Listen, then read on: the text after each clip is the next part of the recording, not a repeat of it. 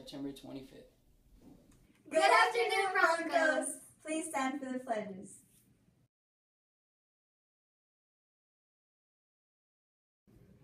I pledge allegiance to the flag of the United States of America and to the republic for which it stands, one nation, under God, indivisible, with liberty and justice for all. Honor the Texas flag. I pledge allegiance to the Texas, one state, under God, one and indivisible.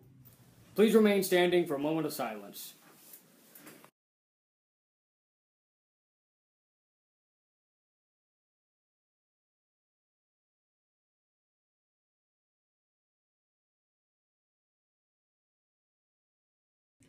Tennis played against El Paso Montwood this past Saturday, and there was a quite a few tough matches.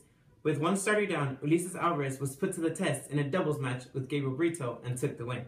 They ended up dropping the matches 11 to 8, moving their overall records 8 to 6. This past weekend, our cross country team competed in the Lubbock Invitational. Varsity boys and girls placed fifth overall, but first place against our district competitors. JV also had a great run. Also, this past weekend, our boys golf team competed in the Lubbock Invitational. Out of 18 teams, Lubbock Cooper took first, with OHS coming in 12th. Although OHS had a few more strokes they would have liked, they did beat tough district competitors. Let's do it. Congrats to all the teams who competed this past weekend. Hope to see you guys do awesome for the rest of the season. Crime Stoppers needs your help. Last Friday, the 15th, there was a burglary in the freshman coach's office, sometime between 2 p.m. and 3:30 p.m.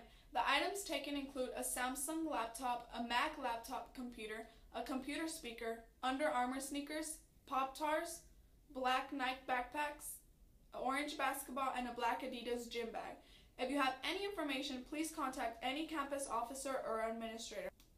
Possible reward up to $500 for any information leading to the arrest and recovery of said item. Please remember to keep OHS beautiful by picking up after yourself and others.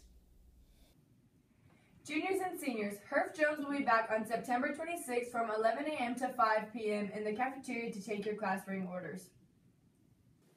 Student Spaceflight Experiments will have a meeting on Monday, September 25th after school in room 220. If you are interested in joining, please come by room 220 and speak with Mr. Zubia. All scientists are welcome. Happy birthday to the following students.